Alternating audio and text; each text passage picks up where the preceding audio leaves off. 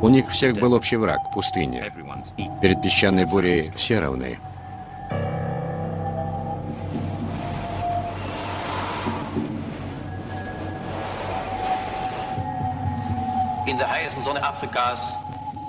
Немецкие солдаты и офицеры выдержали, несмотря на жаркое африканское солнце, жуткие тучи мух, песчаные бури, недостаток воды и пищи.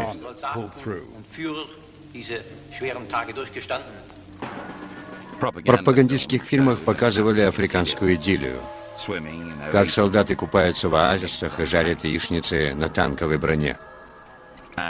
И все под песенку Лили Марлен, которую все слушают по обеим сторонам фронта.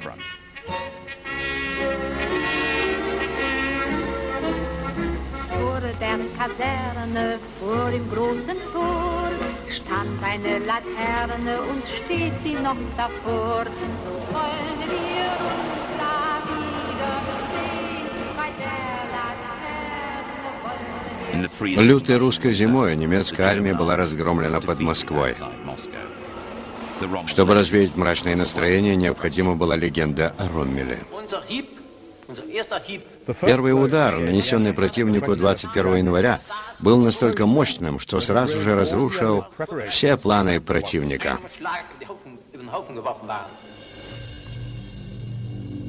Благодаря наступлению африканский корпус Ромеля продвинулся далеко на восток. Такого не могли предположить даже самые отчаянные оптимисты.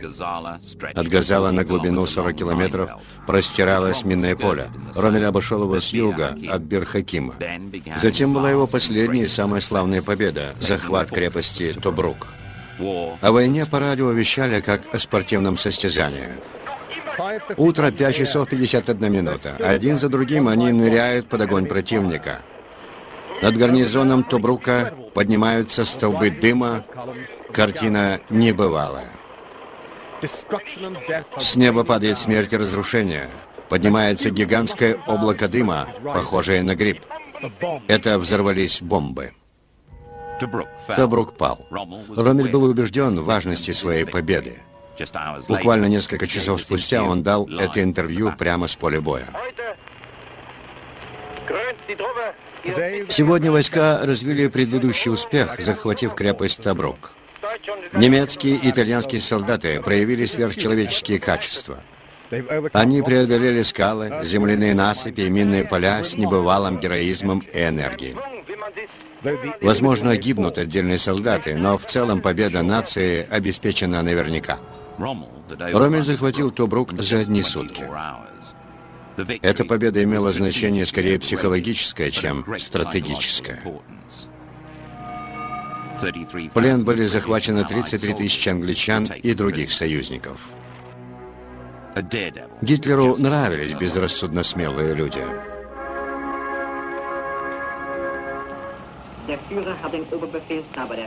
Фюрер направил командующему африканским корпусом телеграмму. Фельдмаршалу Ромелю. В знак благодарной признательности за ваше руководство и личную решительность в достижении победы, с сегодняшнего дня я присваиваю вам звание генерал-фельдмаршала. Подпись Адольф Гитлер. Мы узнали о присвоении ему звания генерал-фельдмаршала по радио. Эта новость мигом облетела всех. Он радовался, как ребенок.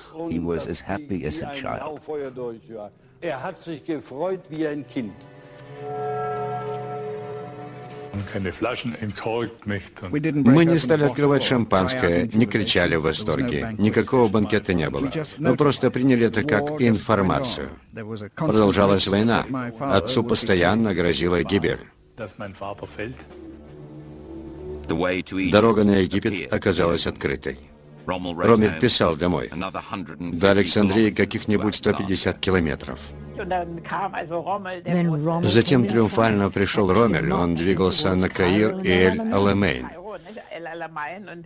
Мы тогда подумали, боже, ведь совсем рядом Палестина. Мы были почти полностью уверены, что этот человек добьется своего. Он уже одержал одну победу за другой. Он устремился на восток по дороге Виа Бальбеа. Эта дорога была совместным проектом, который начали строить итальянцы, закончили англичане, а теперь использовали немцы. По ходу войны название этой дороги менялось. Противник ждал Ромеля на этой дороге, недалеко от окруженного пустыни поселения Эль-Аламейн. Для англичан Эль-Аламейн был единственным местом, где можно было остановить продвижение Лиса пустыни к Каиру. Здесь была организована линия обороны из сотен тысяч мин.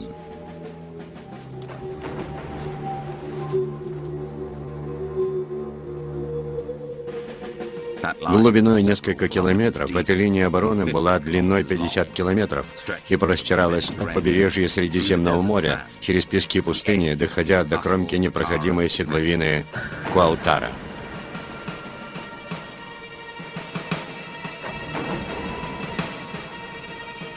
В этом месте атаковать противника с маневром на окружение было невозможно.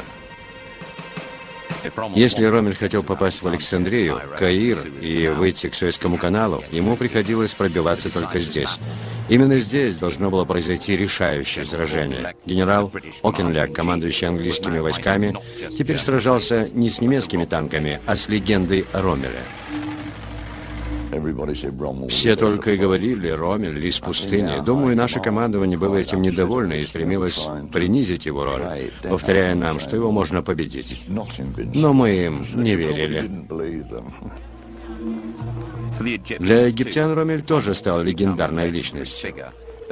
Они надеялись, он войдет в Каир и освободит их от англичан. Почти каждый день в поддержку Ромеля устраивались демонстрации. Когда в 1942 году фельдмаршал Ромель достиг Эль-Алемейна, все думали, немецкая армия пришла освободить их от англичан. Правило гласит, враг моего врага, мой друг. Заговор против англичан возглавила группа египетских офицеров, свободные офицеры. Среди них был и Анвар Садат, ставший впоследствии президентом Египта. Но их мечты затерялись в грохоте сражения. Африканский корпус был остановлен, а в Берлине продолжали торжествовать. Геббельс отмечал, Весь народ Германии восхищается Ромелем как легендарным героем. Нам нужно больше таких генералов. Мы презирали этого человека. Для нас было совершенно очевидно, тот, кто работает на Гитлера, такой же преступник. Это противоречит исторической правде и не имеет ни объективных, ни субъективных подтверждений. Это трагедия Ромеля и всех тех, кто поддался пропаганде нацизма, мизантропические цели которого они либо вообще не понимали, либо понимали слишком поздно.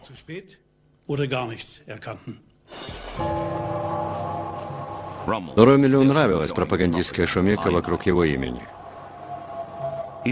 Но пока он так и не раскусил истинной сущности человека, награждавшего его орденами.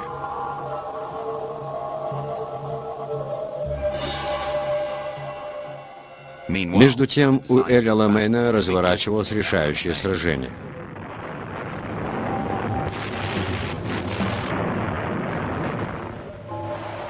Перед ним был новый противник. Черчилль направил туда фельдмаршала Монтгомери. Он учел ошибки своих предшественников и делал ставку на подавляющее численное превосходство на суше и в воздухе. Африканский корпус оказался перед угрозой полного уничтожения. Ромель спешно отвел войска назад. Он видел лишь одно решение — отступление, но Гитлер приказывал остановиться и держаться до последнего человека. Реакция Гитлера, его приказ остановиться и держаться означал конец и был гибельным для Ромеля.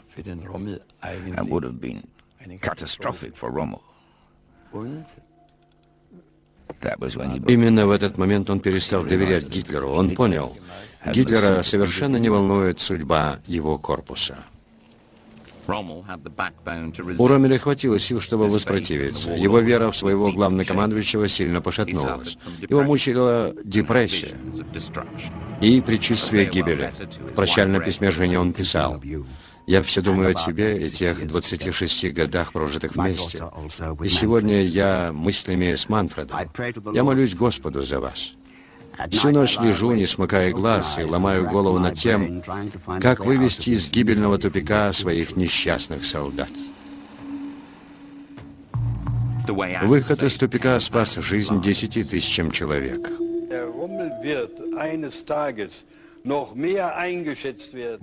Когда-нибудь Ромеля больше ценят за его отступление от Тель-Аламейна и отход в Тунис, чем за его наступление.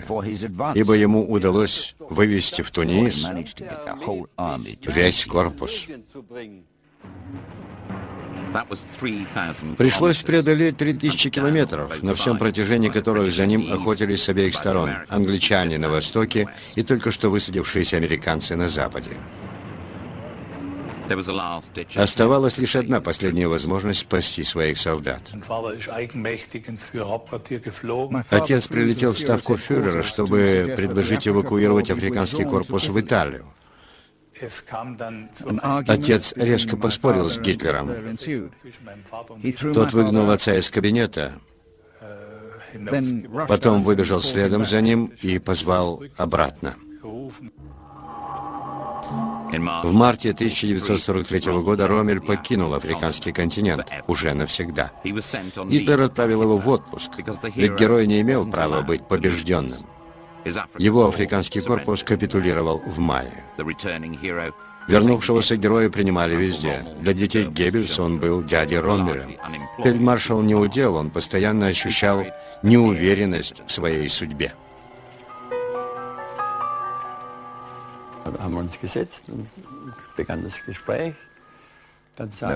Мы сели, и он стал говорить. Он сказал, Мюнингер, хочу, чтобы вы знали, как мало я информирован.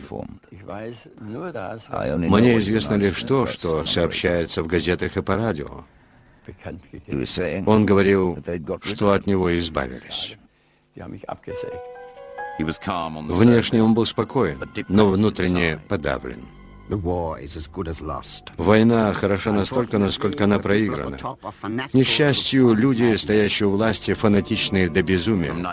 Начиная с 42 года, он с семьей жил в Герлингене, около Ульма. Именно сюда осенью 43 года он пригласил в гости своего старого друга Карла Штрёлина, мэра Штутгарта. Он рассказал ему о массовых расстрелах в Польше и травле евреев в газовых камерах. Он говорил нам об этом у нас дома. Ромель отказался воспринимать невообразимое. Что человек делает, когда его государство оказывается преступным? Он знал, и все же, что делать, если твое собственное государство преступно? Что делать? Уничтожить Гитлера? Для Ромеля это было немыслимо. Когда Гитлер вновь позвал его, депрессия прошла.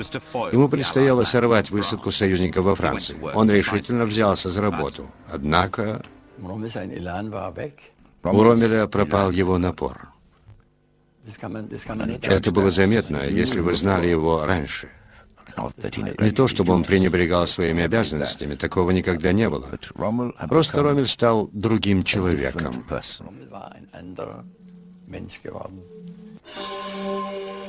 Царило мрачное предчувствие поражения. В штабе во дворце Лерош-Гийон все только и думали о будущем Германии. Главной темой была война на два фронта.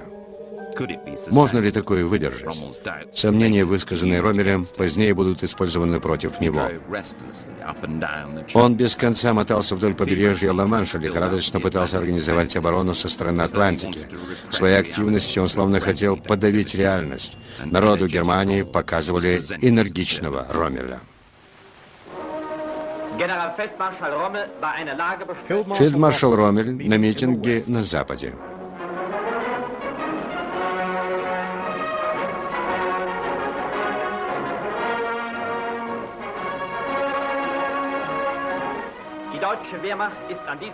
Немецкая армия готова к высадке вражеского десанта.